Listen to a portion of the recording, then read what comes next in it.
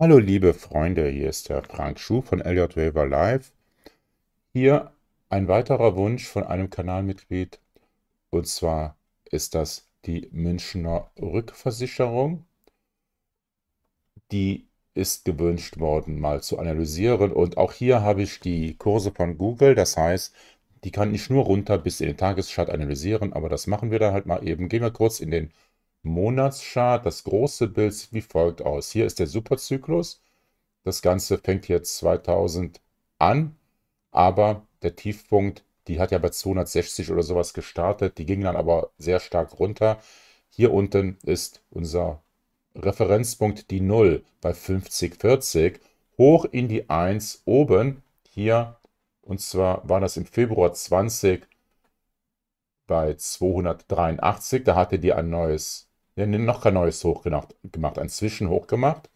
Dann 2020 ging es auch direkt wieder runter im März auf 142 und die Welle 3 erwarte ich in den nächsten Jahren im Bereich 518 Punkten. Und hier wieder die Unterteilung in die 1, 2, 3. Hoppla, hier habe ich mich vertan. So, ist es richtig. Ähm, die 1, 2, 3, 1, 2, 3, 4 und die 5. Und diese Welle 3 hier, die sollte enden, wenn sie 161,8% macht, bei 426. Ich gehe mal in den Wochenchart.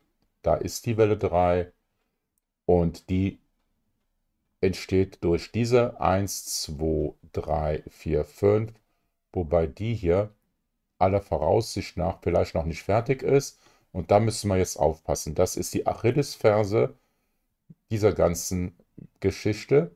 Dazu gehe ich mal in den Tageschart. Diese Welle 2 hat bisher 31,9% gemacht. Da wir aber hier ein neues Hoch gemacht haben, habe ich jetzt erstmal hier die Welle 2 eingebucht. Was aber auch passieren kann, ist, dass diese Welle 1 hier nach oben wandert und dann die 2 kommt, dann würde sich hier natürlich nochmal die, die 5er, äh, also diese, diese Welle nochmal entsprechend etwas ändern. Das ist noch möglich.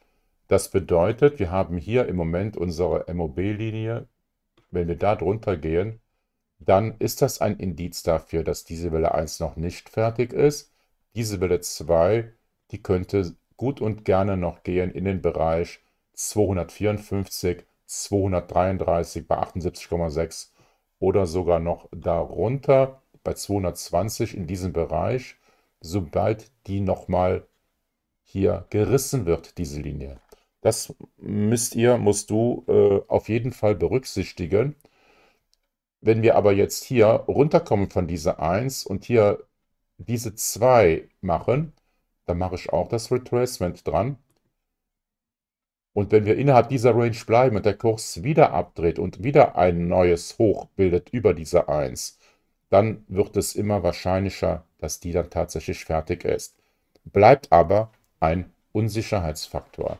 Also unter der Voraussetzung, dass die Make-or-Break-Linie bei 292 oder bei 293,50 hier hält, bekommen wir jetzt, äh, nachdem die 2 abgeschlossen ist hier, steigende Kurse dann wieder in der Welle 3 und das ist der Zielbereich für die Welle 2. Soweit zur Münchner Rückversicherung. Ich wünsche euch einen, einen schönen Samstag weiterhin. Der Frank Schuh von Elliot Waver Live.